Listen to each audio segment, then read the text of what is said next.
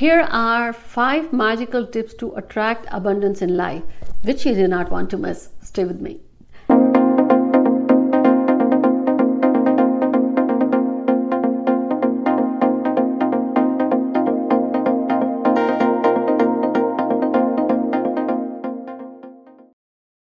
Hi everyone, this is Jaya Karamchandani. Welcome to Invincible Passion Talk Show, where every week I share with you some of my thoughts and content to help you have a better life and an aligned life. Try to be happier.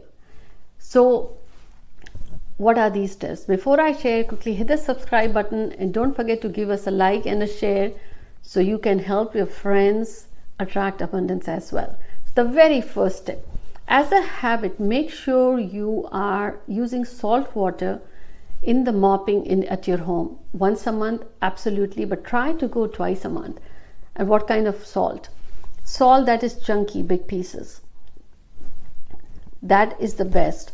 Just put it in the water and if your house is all carpeted so wherever the area is either the hardwood floors or the cemented area where you can try to do that. And why should you do salt?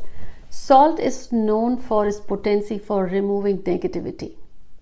And when you do that in your home, so you are cleansing the house from the mosquitoes, the sickness, the plagues, the negativity, or evil eye, whatever you call it.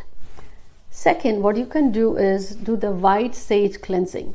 So you can do on the new moon or the full moon how to do have a container of the steel or an earthen pot or a crystal or a glass i would say or a wooden anything that you can hold so you don't burn your hand and on the other hand you need to have a bell so what you got to do is early in the morning you take that bowl light the white sage and it's going to have the fumes. And why should you do? The cleansing used to be a habit when people walk into a new home or there is a celebration, arrival of a new baby or a marriage, or there has been struggles in the family or whatever.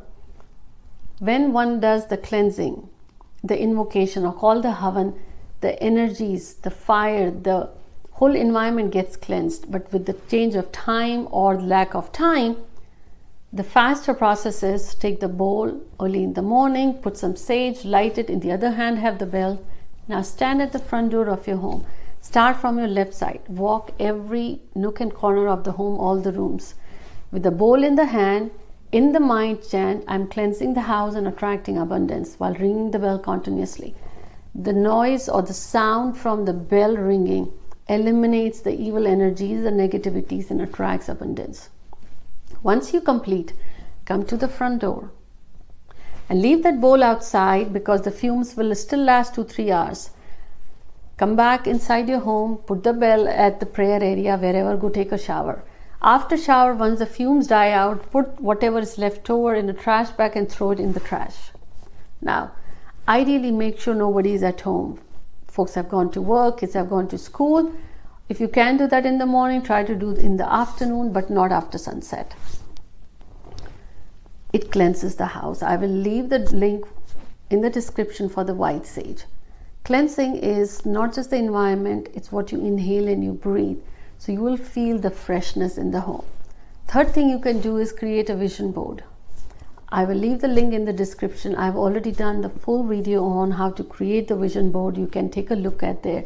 Vision board is visually keeping the board in front of you so your energies align what are you trying to manifest what you can do the next thing is charge the water in the full moon you can do once a month twice in six months whatever works for you what you got to do is look at the calendar mark your calendar whenever it is full moon take a glass of made of glass or steel fill it with water keep it outside the whole night so the moon energy charges that water next day in the morning even when you are in periods you can still do it after shower, take that water and sprinkle every nook and corner of the house. Moon energy is very potent.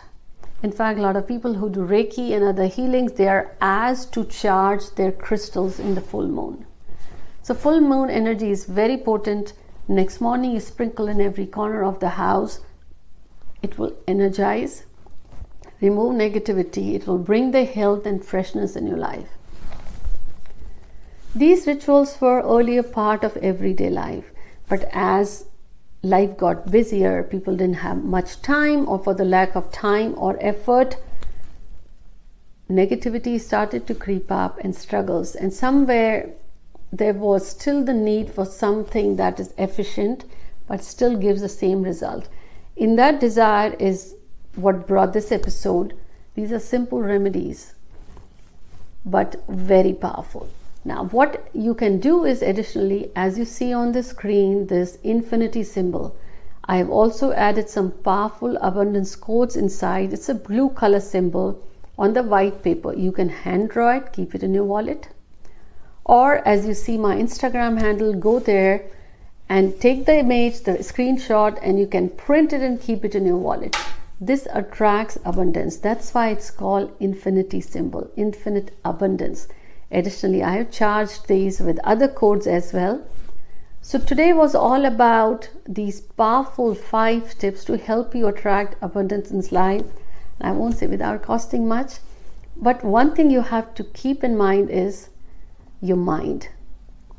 Keep it fresh. Be surrounded by folks who really elevate your energy. And when you cleanse the atmosphere, you will also feel the change in your thoughts as well. I hope you enjoyed this episode. Don't forget to give us a like and hit the subscribe button and share as well. I'll see you soon. Take care.